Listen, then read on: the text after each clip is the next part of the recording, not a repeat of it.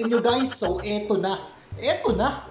Eto na yung araw na susubukan na natin yung mga pellet gun na binili ko nung nakaraang buwan pa. Pare, ang tagal na. Parang ilang linggo na yon yung mga pellet gun na mahaba na binili natin. Kaya nga bang pumatay ng pellet gun ng ipis? O kaya na ba ng pellet gun na bumutas ng pader?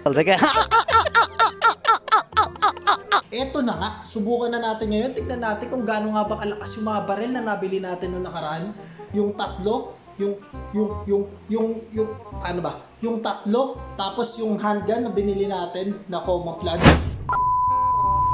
So, ito yung mga pellet gun na susubukan natin. Ito yung toy gun number 1, toy gun number 2, toy gun number 3, at toy gun number 4. Siyempre, saan ba tayo mag-uumpisa? Dito, kay toy gun number 1. Subukan na natin to agad, pero lagyan muna natin ng bala, siyempre, para masubukan natin. At ano nga ba yung target natin ngayon? Ano ba yung tatargetin natin? Ano nga ba tatargetin natin?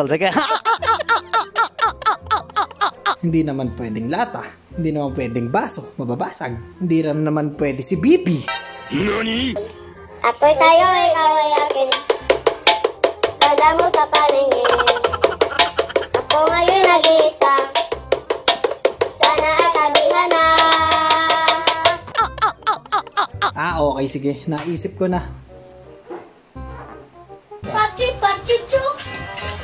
Chow! Galing ah. Ano? May papangil ba, pare? Medyo malabo nga lang yung marker ko, pero eto si Goku yan, pare. Si Goku yan, ha? Baka malito kayo, si Goku yan. Tingnan nyo naman. Iisa lang yung buhok niya rito kasi hindi pa siya super saiyan.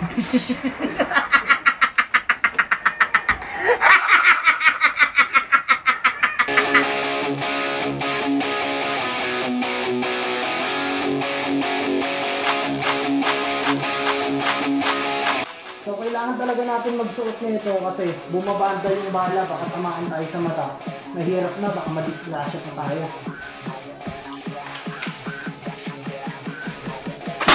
Boom! Boom! Nice! One shot pare. Putok agad eh. Hindi ko man lang nasulit yung pagkakasa ko. Hmm? Hmm? Hindi ko man lang nasulit. Pumutok agad. Nice. Nice. Very nice. Okay, sige. Maglagay pa tayo ng isang lobo para naman masulit natin yung putok na ito. So, ayan. Mas maliit yung nilagay ko dyan. Tignan natin kung tatamaan ko. Hmm. Ilang bala. ah. Uy, tinamaan pero hindi pumutok. Parang kailangan talaga maano eh. Yung eh, talagang sapul na sapul. Ko tamaan ah. Parang naduduling ata ako. Yun! Shit! Yun!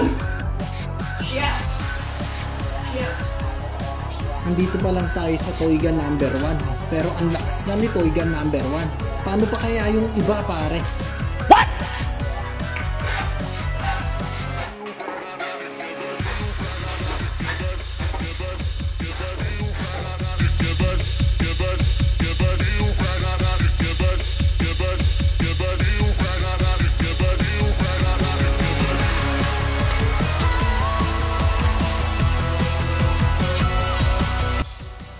Tignan natin kung mapapaputok niya din ba yung mga lobo na to. This time, tatlong lobo yung papuputokin natin.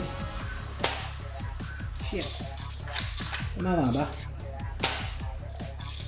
Parang walang pumuputok ah. Uy, hindi tinamaan.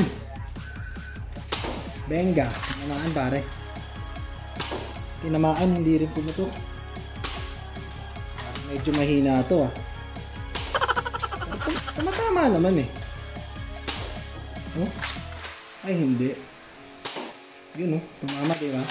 Lakas ng banda. Hindi tumuputok pare. Parang malakas naman siya yun. Ay, gago. Yun oh, aray!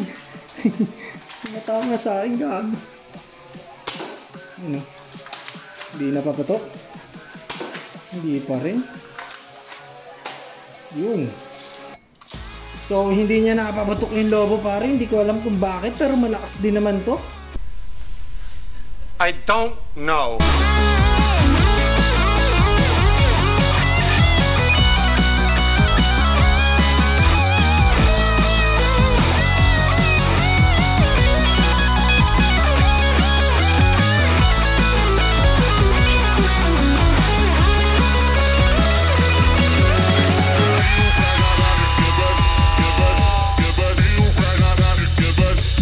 Yun oh, eto naman. Okay, tignan natin. Eto mukhang malakas to pare. Pero tignan pa rin natin kasi yung kanina mukhang malakas siya. Pero hindi niya napapatok yung lobo. Eto, tignan natin to.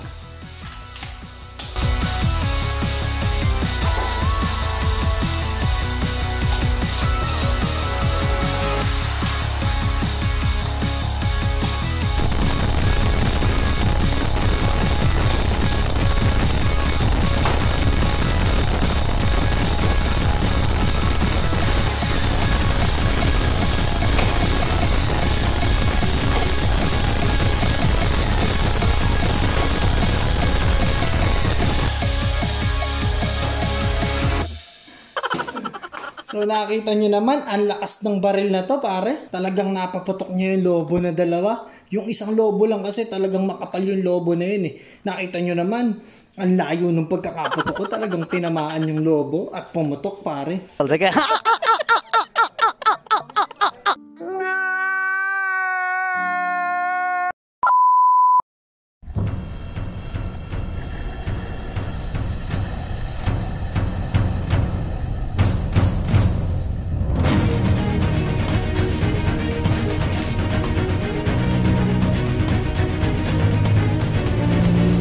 malakas to pare. Ito malakas talaga to. Tignan natin ah. Walang hawakan. Saan ba hawakan to? Game. Game. Mhm. Pero malakas pare. Tumatalbog lang eh.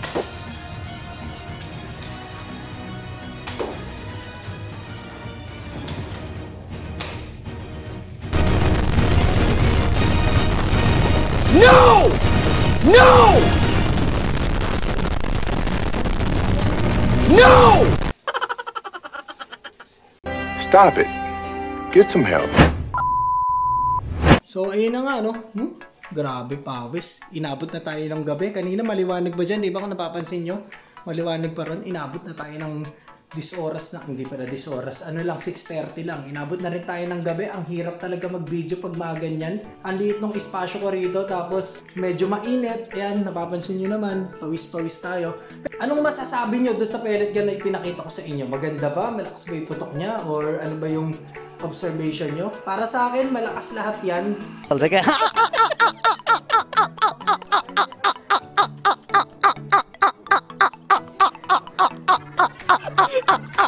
Nataon lang yung pellet gun na hindi nakapatok ng lobo, eh makapal yung lobo na tinatamaan niya. Pero maganda pa rin yung mga pellet gun na yan guys.